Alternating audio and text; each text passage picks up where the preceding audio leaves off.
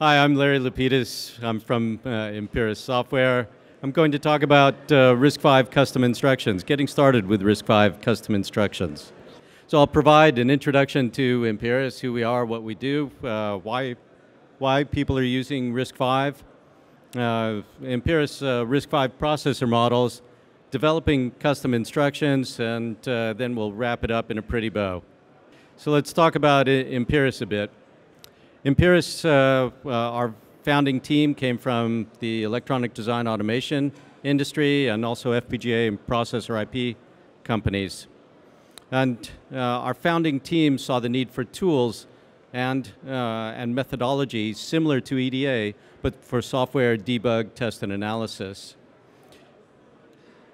Then five years ago, as RISC-V is starting to come on, uh, saw that RISC-V was transitioning from academic exercise to a real industrial community.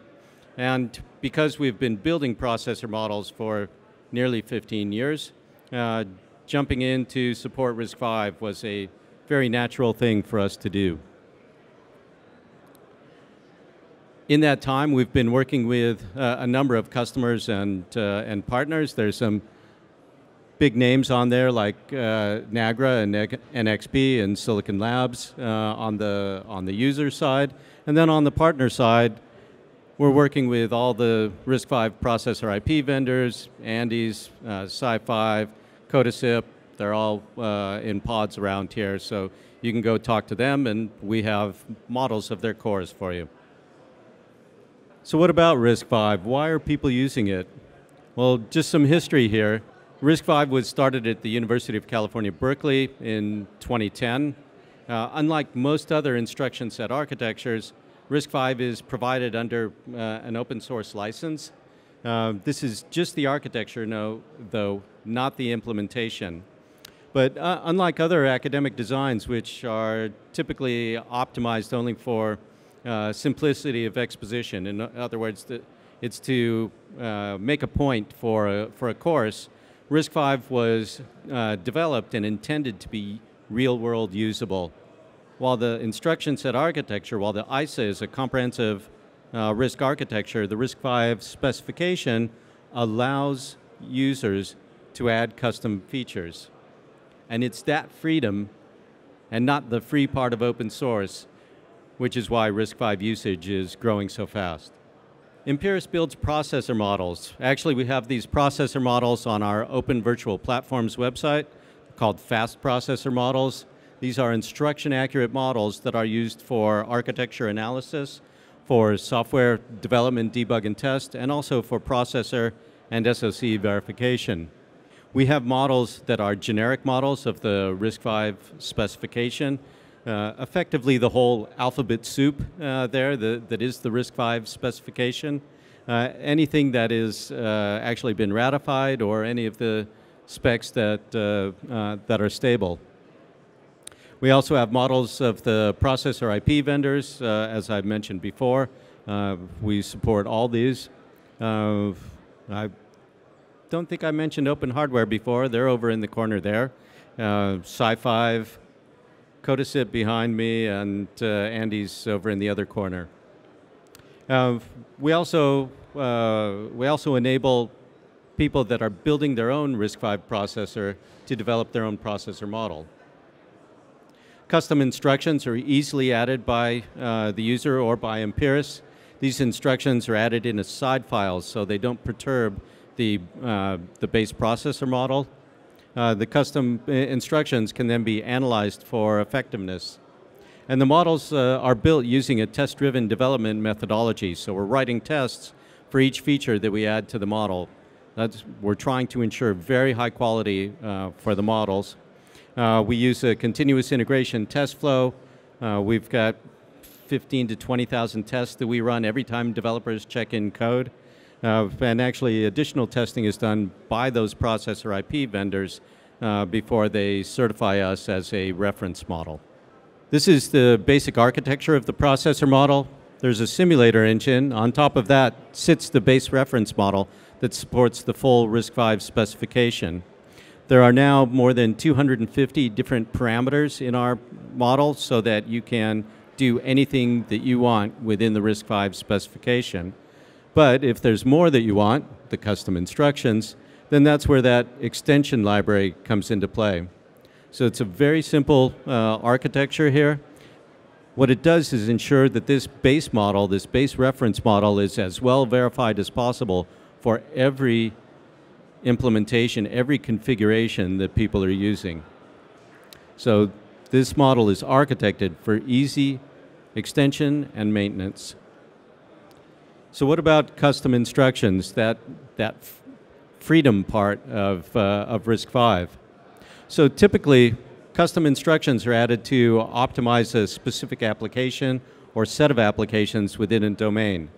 And therefore, what you want to do is start by characterizing uh, the application to be optimized, and then add the custom instructions, evaluate, and iterate. And that's what we're starting to do here in this first block. I'll keep on adding blocks as we go here, but the first thing is to characterize the C application using the instruction accurate simulation that we provide, uh, using trace and debug tools, and function profiling. So here we're going through the simulation. In this example, we're actually using uh, uh, character streaming encoder with the ChaCha20 encryption algorithm. So we're adding uh, ChaCha20 specific custom instructions.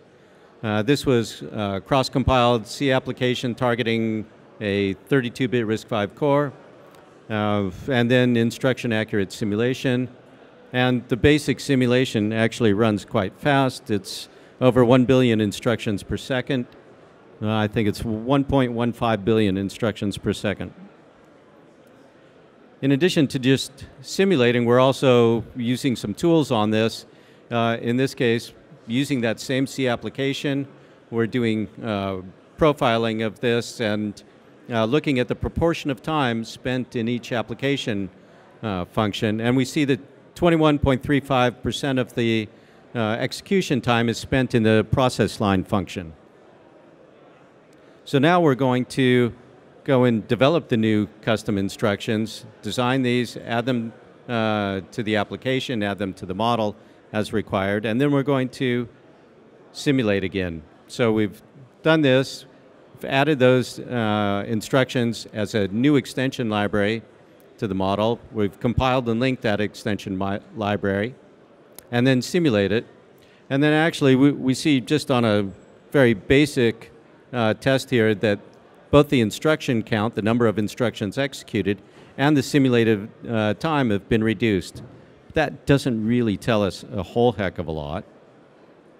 Now we go back to the profiling, uh, the instruction accurate simulation plus those custom instructions. Uh, again, looking at the slowest function, but it's now a lot faster. Instead of 21.35%, uh, we're now at 14.71%. So that's uh, effectively a, a, third reduction in your, uh, in your time spent in that key bottleneck uh, process. So that's what we've done here. We've taken this uh, C application, characterized it, developed the new custom instructions, characterized, and then actually what you would do is iterate this to optimize your custom instructions. Following that, there's some additional optimization and documentation. Uh, you would want to do uh, line coverage to make sure that you're verifying that, uh, the, the complete model.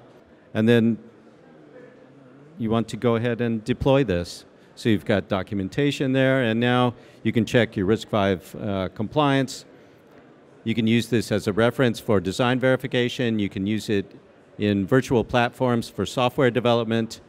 Uh, you can do debug and use other analysis tools, bring up your uh, OS or your real-time operating system.